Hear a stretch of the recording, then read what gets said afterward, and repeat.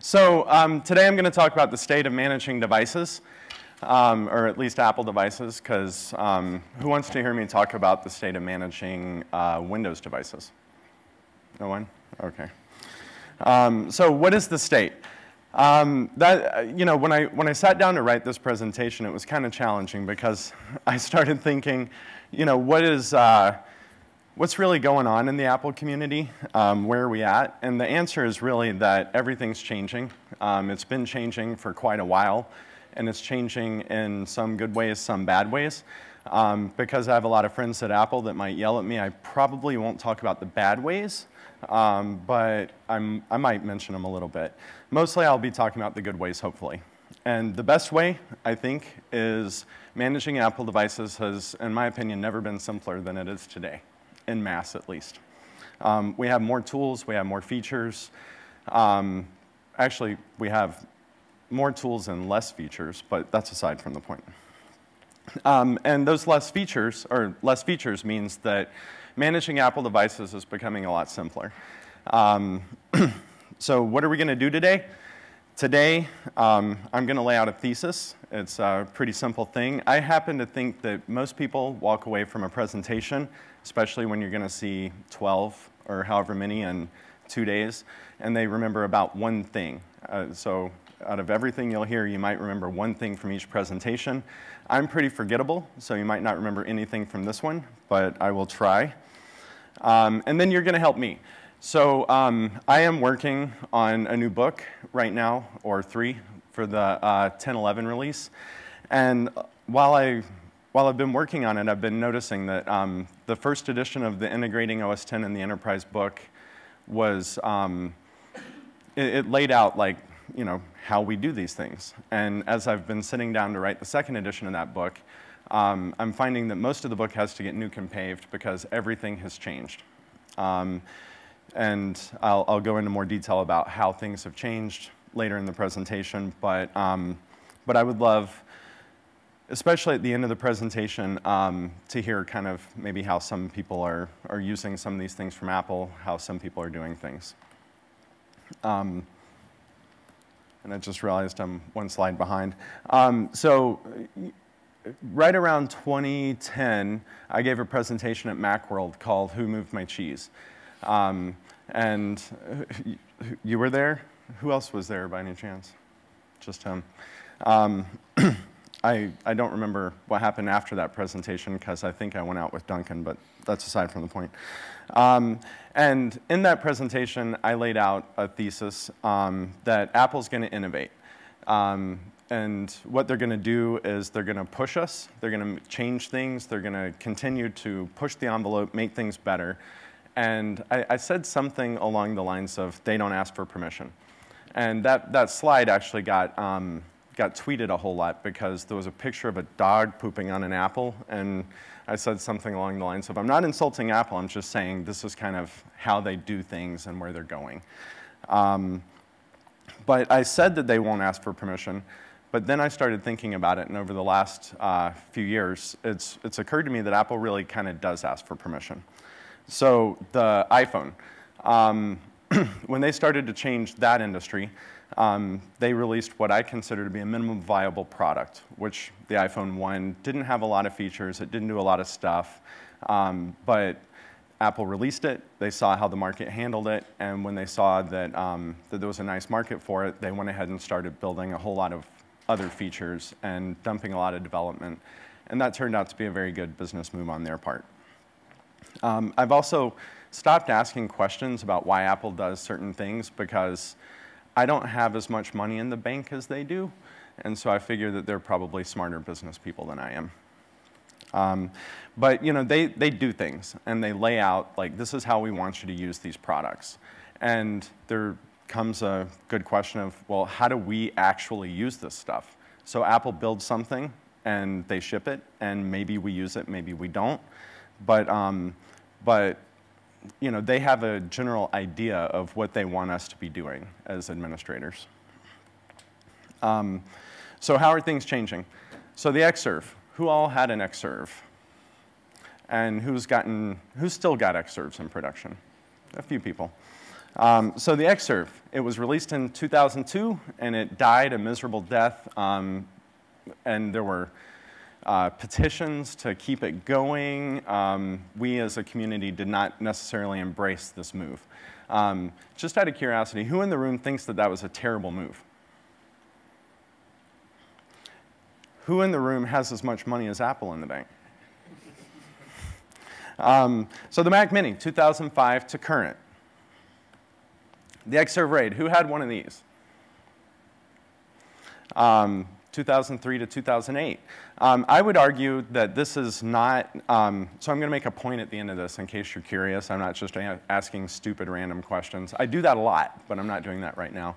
Um, so the Xserve RAID is not part of my thesis. And the reason is because in 2008, the Xserve RAID needed a whole new rewrite of the backend system. And Apple made a business decision based on the number of devices that they sold versus how much it was going to cost them to basically reinvent the RAID they chose not to proceed. Um, so I have a thesis that I'm getting to, but this is not included in that. Um, and Apple replaced that with third-party technology, i.e. Promise. And there were splinters and fragmented markets. Um, some other storage vendors came up, but really Apple wanted people to use X, um, Promise arrays with XSAN. So um, some of the other products that Apple killed off um, in miserable, miserable deaths, some of which had like uh, Austin Powers moments where they're like, no, I'm not dead yet.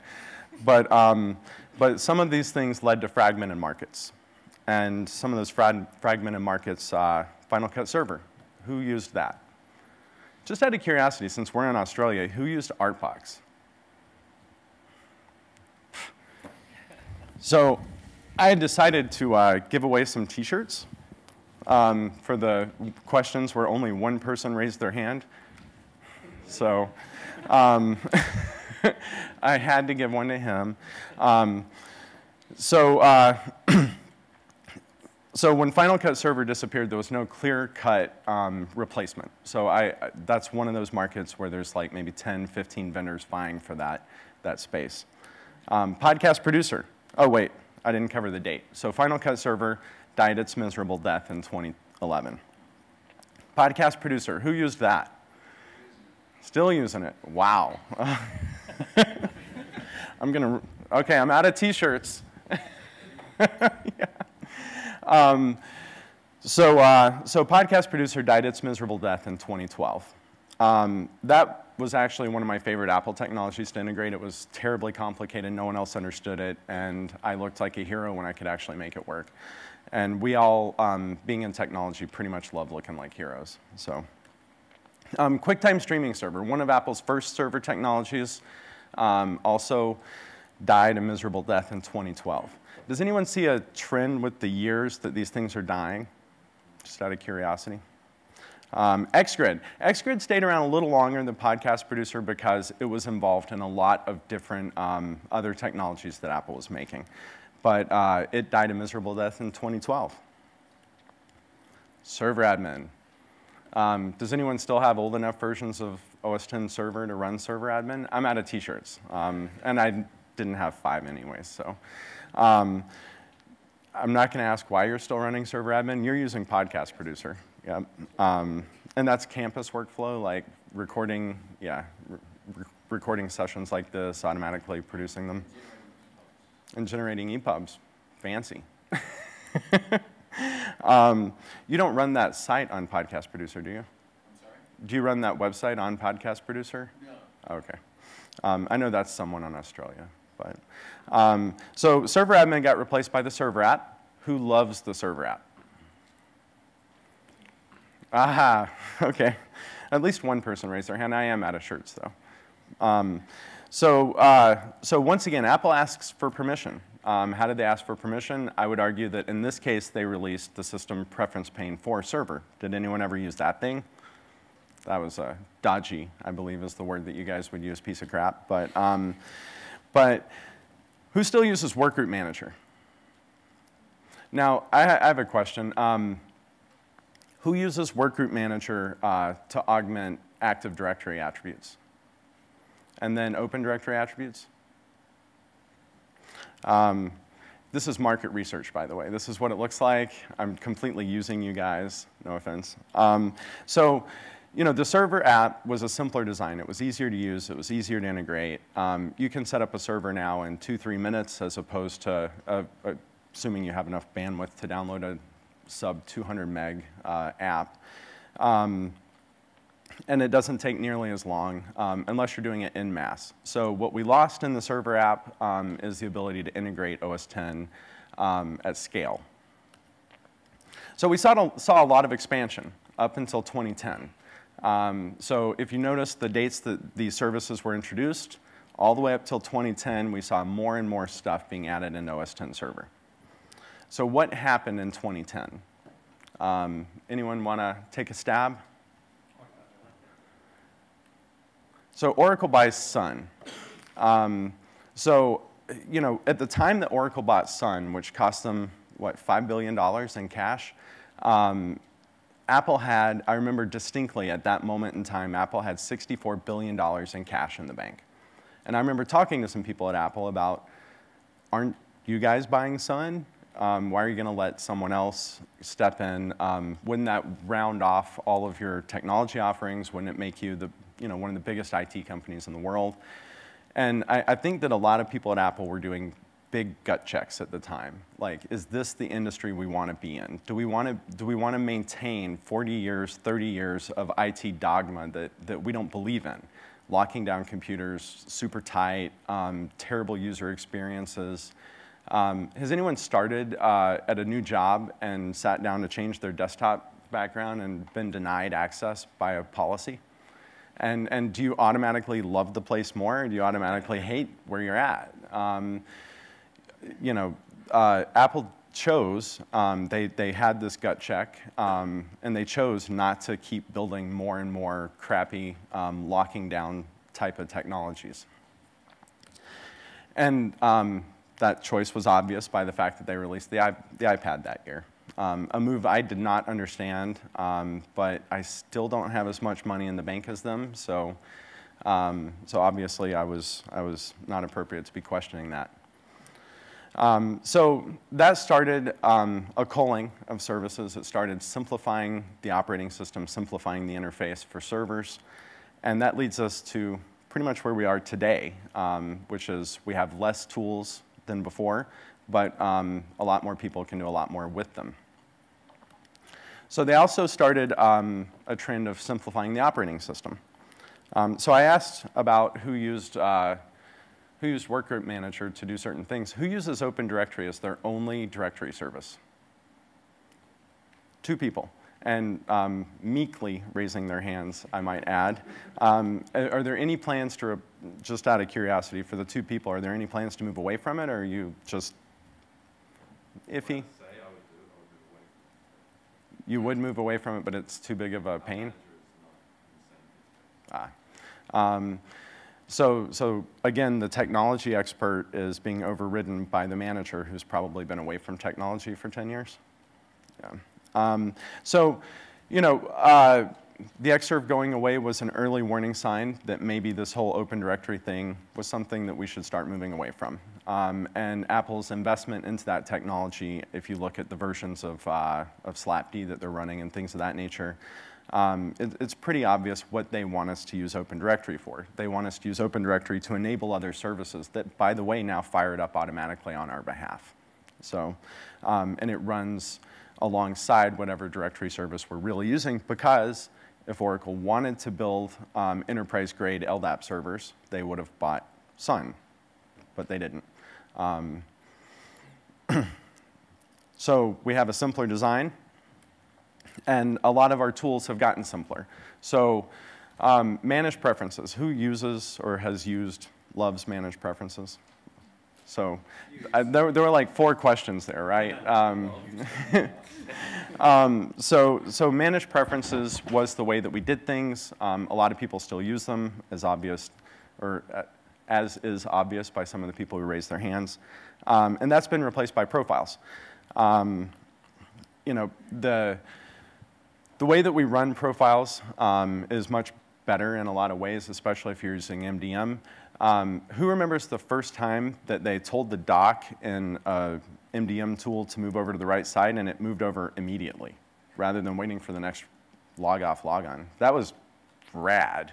I, I you know, I'm not going to tell you how I felt on the inside when that happened, but I was pretty stoked. Um, so Server has Profile Manager. So out of curiosity, again, who uses Profile Manager in, in at scale? Who's a, how many users? Uh, we've got 250 enrolled. We've got about a thousand kids. Got it. So 200 is about where it tops off. So at 250, you're probably starting to run into some issues, I'm going to guess. Um, who used Profile Manager and then, a, and then did a major OS release, got screwed, and decided never to use it again? So the number of people in that scenario uh, outweighs the number of people currently using it. Um, so at scale, third parties come up. And I, I, think that's, that's a core aspect of being a Mac admin today that is extremely different than it was in 2010. In 2010, a lot of people used all Apple tools, like your manager. Today, a lot of people use third-party tools. So the number of people using third-party tools for all this stuff is pretty much everybody, um, almost. Um, so clearly, I should have brought a lot more shirts, right? um, so Apple, Apple built Profile Manager. They built some pretty simple technologies for us. They built Caching Server. Who uses Caching Server? A lot less people than I would have thought. Although some of those people have their eyes down on their laptops and aren't paying attention, and that's fine. You have a day job. I get it. Um, I do too. I'm going to go do that for a little while. no. Um, so, so what do we see this trend of tools that Apple's introduced since 2010? Because it's pretty much just those. Um, we see that they're building tools to support iOS and OS 10 deployments. So no longer building tools that are specifically geared for large-scale integrations, et cetera. Um, now it's all about iOS and OS 10. so who's used Force Touch on a MacBook? It's pretty cool, right? no, sorry. Um, so, so Apple, Apple's building some of these technologies that, that they introduced for the watch or for iOS into now OS, OS 10, right?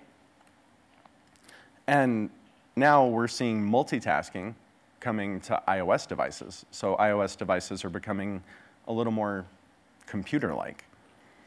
So OS 10 is becoming simpler. iOS is becoming more complex in a way. so back to profiles. So profiles manage both iOS and OS 10 devices. And a profile is pretty simple. It looks like this. Um, what else looks like that? P-lists. Yeah, manage prefs. You, you zoom in on that. See how I zoomed, by the way? One screenshot to rule them all. Um, so you zoom in, and it's, it's pretty much just a, a manifest. Um, and the command line is very easy. Who, who used uh, dscl with MCX read and, and writing attributes that way? And who had an awesome experience with that? Um, who's used the profiles command? And experience is better? Nodding. No one's shaking their head no. No one would like to go back to the days of using dscl? All right. So profiles are similar to managed preferences managing them with p-lists, or at least managing p-lists with defaults. Um, Apple push notifications.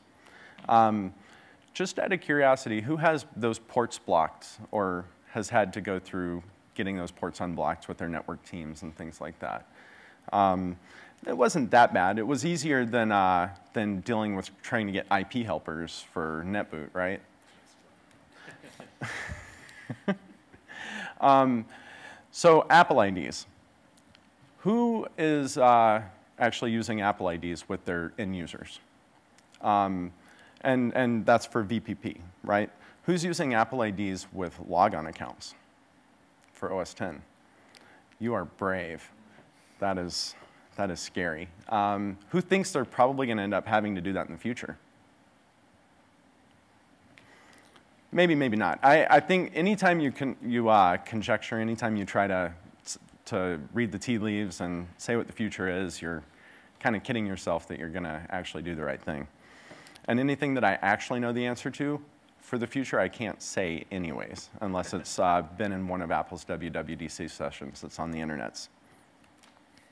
So um, we still authenticate to new accounts in OS 10 um, with Apple IDs. Um, you know, no one's really using this as, as we, we saw. Um, who's actually defined those in OS 10 server attributes, just out of curiosity? Who knew that that was part of an OS 10 server attribute that you could define? Um, so mobile device management. Mobile device management starts with these profiles that I kind of talked about, but then it goes a step further. You can wipe a device, um, you can lock a device, uh, you can do all kinds of cool stuff. Um, VPP. Who's using VPP with the Mac App Store? And uh, who's redistributing uh, Mac App Store packages with something like Casper or FileWave? Or, um, just out of curiosity, show of hands, who would rather do it with uh, MDM? and who would rather do it with, uh, with redistribution? It depends. Just out of curiosity, what does it depend on? Is it a one, one device or is it a shared device? So is it your labs or is it, Yeah. yeah, devices that, that everybody has? Um, so we already mentioned that, um, that MDM comes with profiles. Um, so it's really just managing these profiles in the back end. If you, if you look at um, profiles, you can see what's coming down. Apple's very transparent, or at least tries to be. Um, that's one thing that Casper BYOD, not that I'm going to pitch Casper because I work at Jamf, but um, in our BYOD product, we try to be very clear about what we're going to do on a device. Um, that way, when people bring their own devices into the office and enroll them, they, they have a reasonable assurance that we're not going to screw them over. Um, but profiles are dynamic. So unlike managed preferences, things are running real time, some things. Um, and, and you can make changes. Um, who's used profiles to push things out like through the command line and scripting the command line through a tool like Munki or something like that? Um, so with MDM, the profiles become dynamic. You know, we're making these changes on the fly as we go. Um, but what happened to once, always, and often? Does anyone miss that? Um, of the people up there who were uh, still using MCX, are using MCX because of this specifically? Well, we're still using it because there's certain functionality which uh, isn't available in profiles, but you, with MCX you can configure any managed preference file. Right. So you're after the com, you're after the com.microsoft dot whatever, yeah. Um, does anyone remember this tool? Um, so show of hands, who has switched from using Package Maker to Composer? And who's using uh, packages? The tool called packages, not the technology. Um, so of the people who didn't raise their hand, just feel free to yell out, what are you using? Or are you not packaging?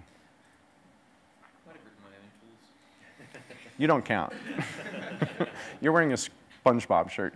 You don't count. um, so who's distributing uh, or signing their own packages? Um, who's trying to distribute unsigned packages?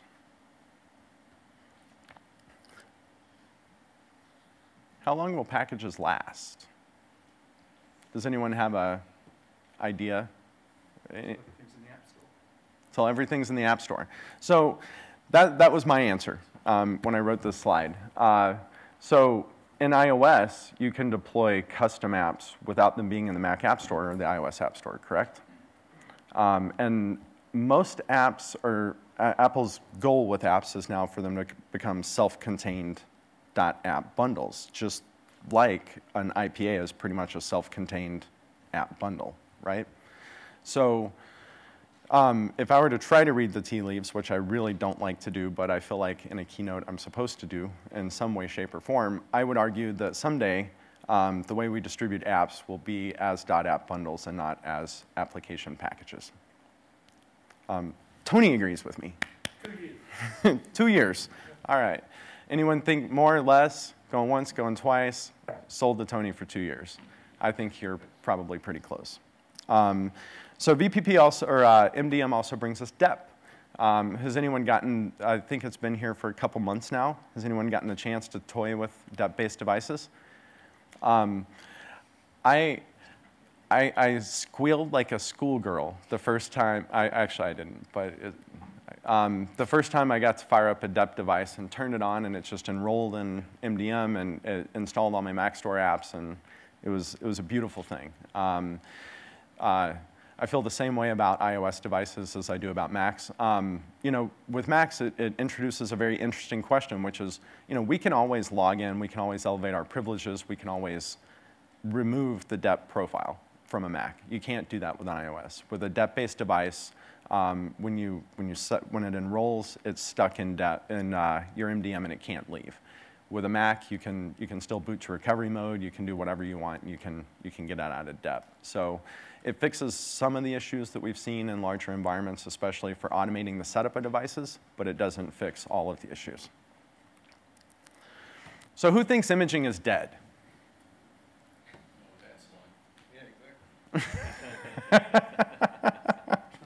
um, who's imaged iPads? It's not really called imaging, right? It's called restoring.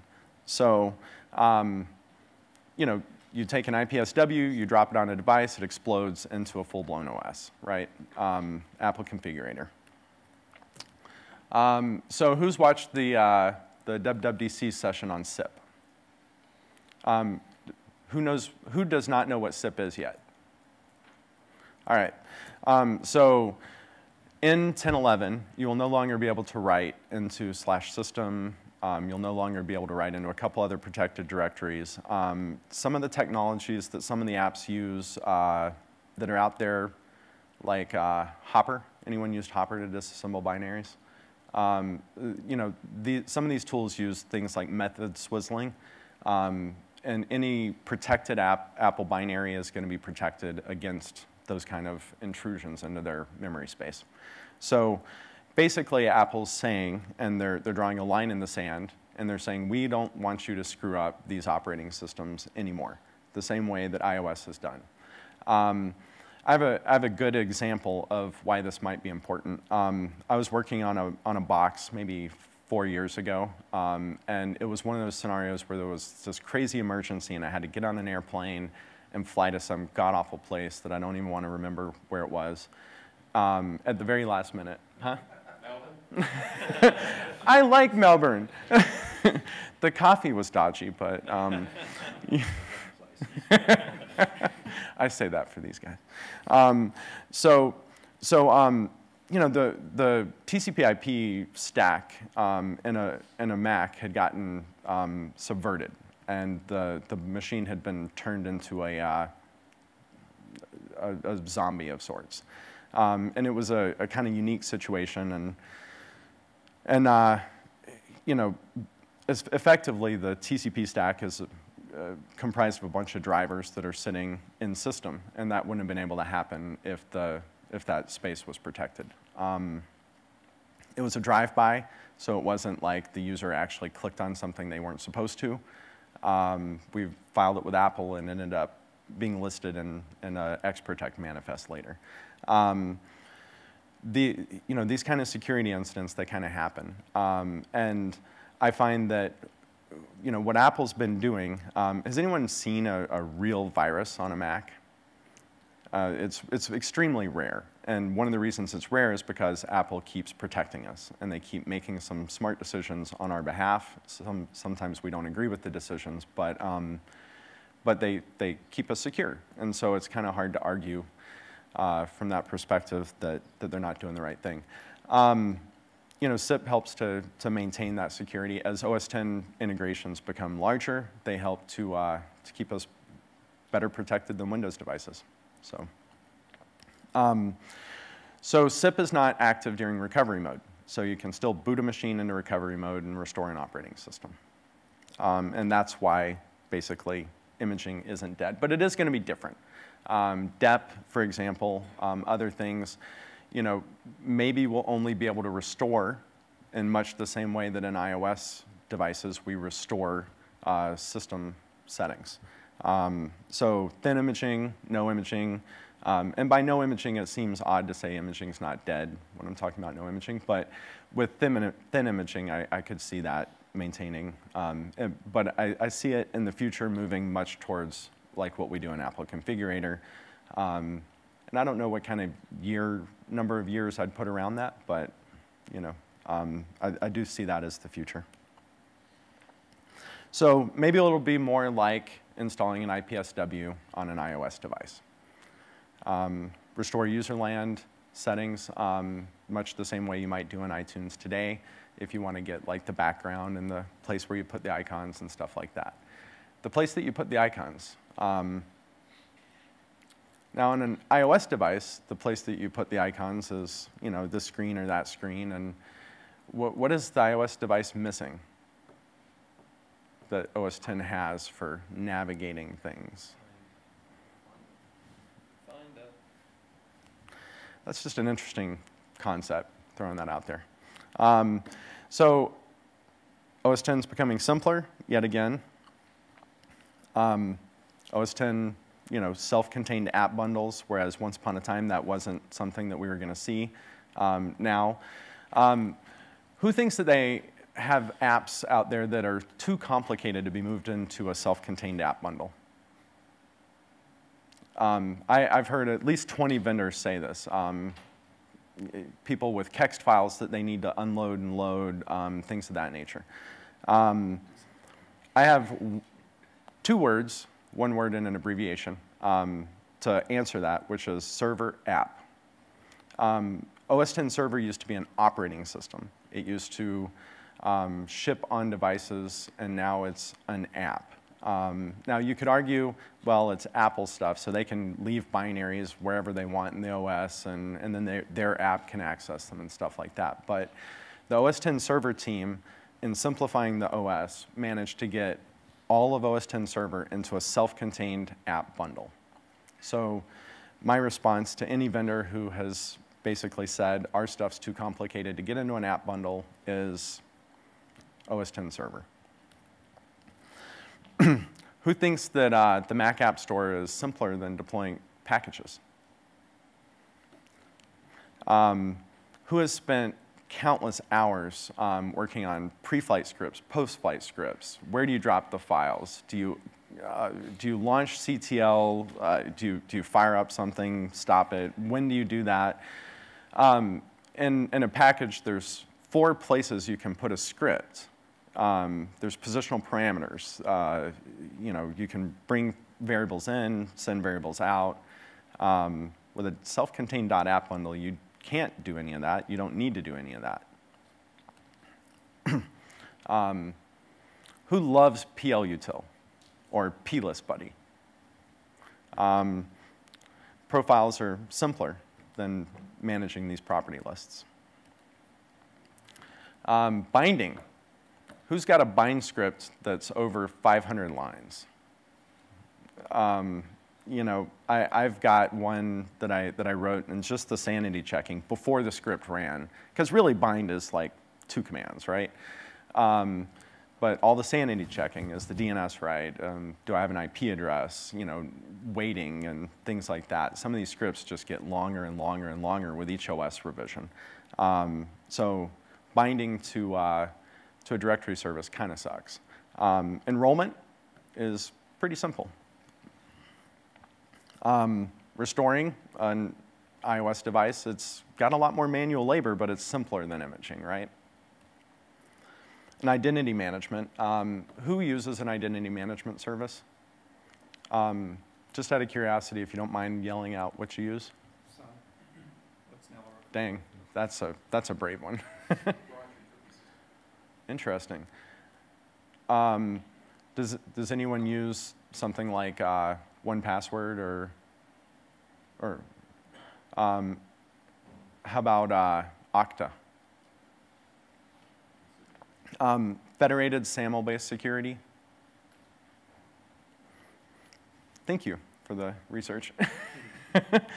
um, if I ask if you use one of these and you say no, it might be wise to start looking into them. Um, so sim, SIP is simpler than having to sanity check every kext. Not for us, it's simpler for Apple. So, um, so kexts, um, who's got third-party kexts running on their machines? Um, signed packages is simpler for Apple than unsigned packages. And actually, it's now simpler for us. If the OS vendor signs it, we don't have to re-sign it as part of our packaging process. Um, Apple's business. Fewer models is simpler to keep track of and sell than more models. I'd actually argue they have more models of things right now than they've pretty much ever had if you include iOS devices and Apple Watches. And God, there's a lot of SKUs for watch bands. Um, you know, when I got my watch, the first thing someone said is, oh, you're a white band kind of guy. I'm like, I'm like, I didn't know that the color of the band that I got said anything about me. The reason I got a watch with a white band was because someone told me um, that they would ship immediately as opposed to waiting for the black band. So I ordered the black band as well, and it shipped two months later. like, I just wanted my darn watch immediately. I'm not a white band kind of guy, just saying. Um, so, so again, we saw Apple's, the number of Apple, of services that Apple was giving us to manage devices in mass grow until 2012, or 2010. And then Oracle bought Sun, Apple decided they weren't a big iron server company, and we saw that number start to recede. Um, and we saw Apple make insane amounts of money selling these iPads. So they made the right decision. I was an idiot for trying to talk them into the wrong decision. And who listens to me anyways, right? Um, but, you know, who, has, who feels like they have enough Apple admins in their organization? Um, who feels like the explosion of Apple devices that need managing, actually, there's enough Apple admins to go around? Who's seen um, much better job opportunities over the last few years? Um, those of us who have been in the community for a long time, we, in a lot of ways, can write our own checks, and it's only growing, right? So in order for the new people to come in so that we can do cooler stuff, we need to remove the barriers and make it simpler for people to use Apple technology and admin the stuff in mass. And, um, and we need to be nice to them when they get here because they're not going to know much, especially if they're coming from the Windows platform. Because having taken a whole lot of MCSE exams, terms like LDAP never showed up.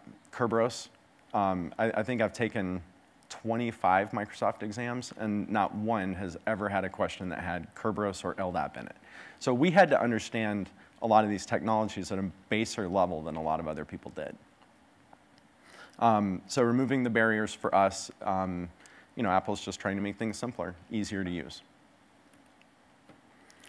But it's important to use some of these systems in the way that they're designed to be used. Um, so I, so I, I, I've spent a lot of time making things happen on computers that weren't supposed to happen. Um, and sometimes that's R&D, sometimes that's just a customer who's just, I want to do this. Um, but the, the writing is on the wall for how Apple wants us to use a lot of this stuff. And there are going to be sessions over the next two days on packaging and over the next two or three years, we have to know that. And so we have to attend those sessions, and we have to keep those skills where they are.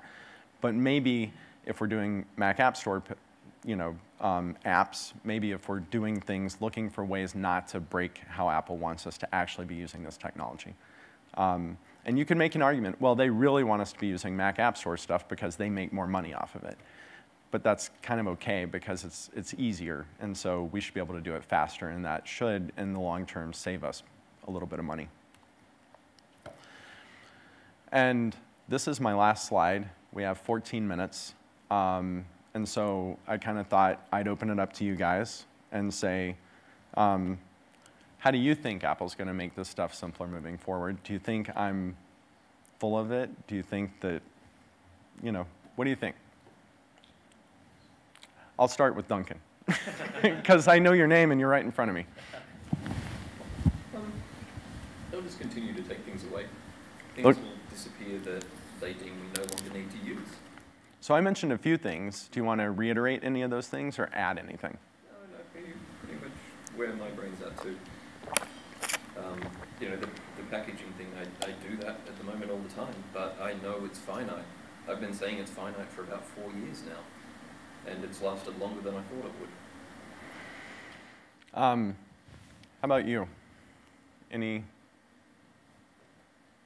any thoughts? Um, I think it's interesting that there's a hypervisor framework being introduced. Actually currently is now in 10.4. So that's an extremely interesting topic, hypervisor framework. So, um, so what do you need? You need to load a lot of things that are in weird places if you're a company like VMware um, and, and you're trying to get Fusion running, or if you're Parallels. Um, who still has a lot of VMs running around to do task-based things on their Macs and their large deployments? App, uh, you know, Apple can't screw over the virtualization providers um, because we need them for large deployments. Um, there's an accountant, the person who writes the check for all this Apple stuff. Apple likes those checks. They want to get those checks, and regrettably, that person is probably using um, some kind of Windows software to, to help them get those POs processed. Um, so in order to facilitate um, not screwing over those providers, what we see is hypervisor framework. Um, so maybe in the future, all those uh, tools like Fusion are going to do is hook into that. Um, it also provides a lot of really good um, opportunities for third parties to kind of build a prettier GUI around it in a way. But, um, but yeah, that's, that's an, a very interesting perspective. And if you think about it, when did hypervisor framework show up? It showed up like a year ago, right? So um, so that means that Apple was preparing for SIP and or rootless or whatever you want to call it a year ago. Um, so, so none of these are rash decisions. You know, um, the product management team there is very smart and they, they kind of think ahead much better than me, you know, for sure. So, any other? Go ahead. Can you talk a little bit about identity management and if you know of any good solutions for integrating Google Apps sign-on? Um, so it's according to, to where, integrating how, integrating what. Um, none of them are fully mature on the Mac platform. They're all much more mature on the Windows platform. Um, I like uh, one, was OneLogin, um, and I like Okta a lot. Um, we use Okta. Um, I used it before I came to Jamf as well. There, there, you know, a few, a few like that. Centrify has probably one of the more mature ones for the Apple platform. Um, I don't, you know, I, I, don't know if you have a requirement to have your own servers uh, or to use a third party. Um, you know, the move for a lot of these things is SaaS, and so Okta and, and OneLogin for that, I would say. Um, if you do have a requirement for your own server, I would say looking at Centrify or something like that. Um, Sun, um, I, have found that to be the most complicated. You kind of need someone on staff for that, as opposed to Centrify, which could be 10% of a Mac admin's job. You know, um, just different perspectives. Okta is 1% of a Mac admin's job. So, um, you know, it's just how you prefer to go about it. Um, does anyone know what SAML is or not know what SAML is? Um, just in case you're afraid of raising your hand, um, which I usually am. Uh, SAML is uh, federated security to, to it's kind of like Kerberos for the web. That's probably the easiest way to put it. Um, and that's kind of, I remember someone telling me like five years ago that SAML was the, the wave of the future, and I was like, whatever, dude. But, um, but I, I, think as people are getting to scenarios where they're trying not to bind machines, whether Windows or Mac environments, that kind of becomes necessary. And uh, Okta has apps for iOS, so I, I don't use them personally, but, um, but they have them. So, and it works pretty well with Safari. I think I've only seen one or two apps that, that don't work with their Safari plugin.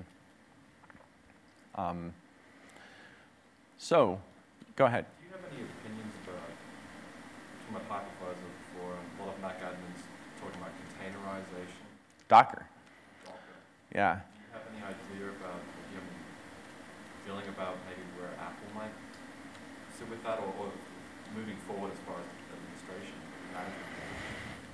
I think that Apple is happy to let people use Docker. I think they have no vision of what they're going to do with anything like that. Um, Hypervisor framework maybe and nod towards that? I mean, I know Microsoft is looking at trying, they claim they're going to try to integrate Docker. with Hyper-V, Well, to, ho- to host it natively within Windows, Yeah. that involves a whole recall, but yeah. do you feel that perhaps Apple would be- I don't feel that Apple has any um, objectives to that kind of thing. I, I feel like they begrudgingly allow virtualization on their operating system, um, and that silently maybe they're laughing at the people who are doing it because um, they see it as, as 1990s era technology. Um, you know, having said that, in big iron environments, obviously it's a must. Um, if you're if you're doing uh, whether Casper or Munki deployments, um, heck, even FileWave, um, you might end up Dockerizing, you know, um, your deployments, and it, it greatly simplifies things for us admins. But um, but I don't think Apple has any care in the world about it, as far as putting it on server, et cetera. They're much more concerned with making sure that you can check in Xcode um, so that you can build more iOS apps so that the App Store gets even bigger. And those mounds of, those big piles of gold bricks that they get to carry around get bigger. And I don't have gold bricks in my house, so I can't say that there's anything wrong with what they're doing.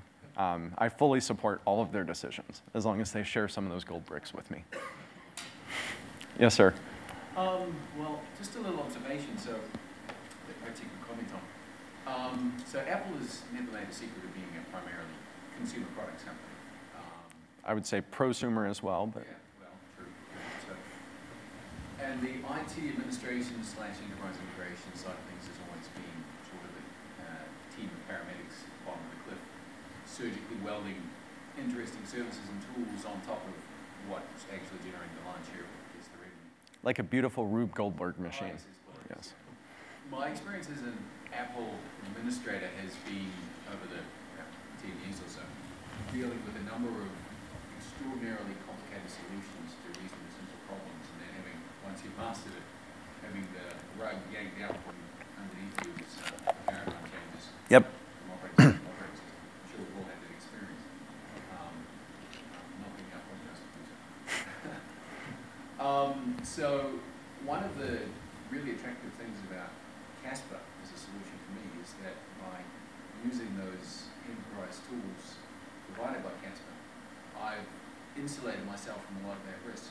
Yep. My, my institution is now um, proxied that responsibility for dealing with those changes off to Casper. And, and um, any changes to that environment in OS X and, and iOS, um, all of those are now Jamf's problem Yep. from my, from my perspective. And we are we love to take those problems, as does FileWave, you know, whoever, because we get paid for that. Do you see that trend continue? I mean, am I going? Absolutely. Further, further insulated nuts and bolts things I used to have to deal with? Yep. Like abandonment, knowledge, lists and. Yep. I mean, obviously, we can't do it for the next year or two, right? Because or three or however long it takes. So we have to keep up to date on those on those skills today. But in the future, yeah, it's all about the third-party products for the most part. uh, platforms like AirWatch and, and Casper in a position to provide that service? More au fait with secret roadmaps? So, so what we see, yes. um, so one, one thing that we see with, um, with the third parties is we're incentivized to, to build things. And you see mini, miniature conferences sprouting up across the globe. There's more conferences today than ever. Um, Airbnb, has anyone used that? Uh, Um, so Airbnb had a conference a few weeks ago. Um, Jamf, we have a conference. AirWatch has a conference. FileWave threw a conference this year for their first time. Um, pretty much every vendor now, in part of their marketing plan and marketing budget, throws conferences. Um, and so we're, we're seeing fragmented conference space. We're seeing Apple not doing it. Um, we're seeing Microsoft doing it more for partners and et cetera. But, um, but that's one example. Um, we have training that we provide, as, as do all of the, the providers. I don't want to be a a Jamf person up here, but I am. Um, you know, the, the vendors have all of, all of these things that Apple used to do. Um, did anyone ever take the Advanced Systems Administration class that Apple, Apple built? That was a good class, I thought. Um, I mean, they, I learned a bunch of things in that, and that doesn't happen for me in classes a lot. Um, you know, now if you want advanced systems administration, you need to go to a third party, um, and and pretty much you need to take an advanced systems administration class on their product.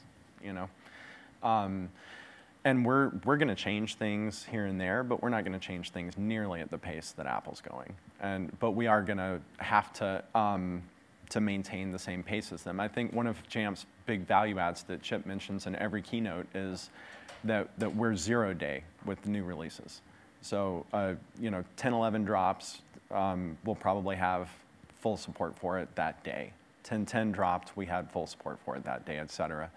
Um, so we're, we're, you know, and OS 10 server never had full support for OS 10 on day one. I mean, software update server, many versions of the release wasn't compatible with, with what was coming. So, um, you know, but we're incentivized to do that in ways that they weren't. For them, it was a cost center. For us, it's a profit center. So. You mentioned packages before and uh, conceivable change where packages goes away. While you were talking about that, initially I was thinking, oh, I never thought of that. But then I realized, well, actually, do I care? Composer will receive some form of update or replacement. Yep. Continue on my way. Yeah. And I mean, we're building patch management. Um, you know, AutoPkg does some of this work for you. And, you know, um, the, the future of those kind of products, like, oh, let me go spend a whole boatload of time cobbling together all these open source technologies, um, you know, or I could just buy a third-party product um, who's going to train me, and they'll keep up with the package with with all the different technologies, and all I have to know is their interface. You know, that becomes. I mean, Windows admins have been dealing with it for for decades. Um, you know, Altiris, et cetera. Um, you know, they happen to sell SCCM, but it's still pretty much the, the same interface for SCCM version over version as opposed to having to learn Windows 10 versus Windows 9 internals. So, yeah. Um, One minute, by the way. Last question. when you have scenarios where third-party vendors have embraced the changes with Apple, you may have, for want of a better word, a fourth-party vendor, whether it's a software developer Yeah. that um, we all know their names, who just will not standardise the way they do things.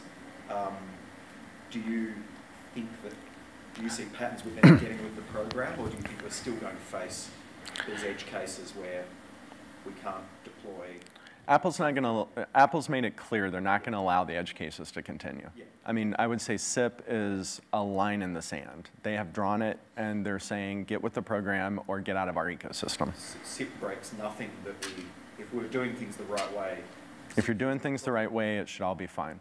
Um, Casper, we weren't doing the right things the right way, um, so we had to move our binaries, and you know we're doing a bunch of work to get to get with the program, and we'll have it out before it becomes an issue. You know, and every vendor will have to do that. So, last question, 10 seconds.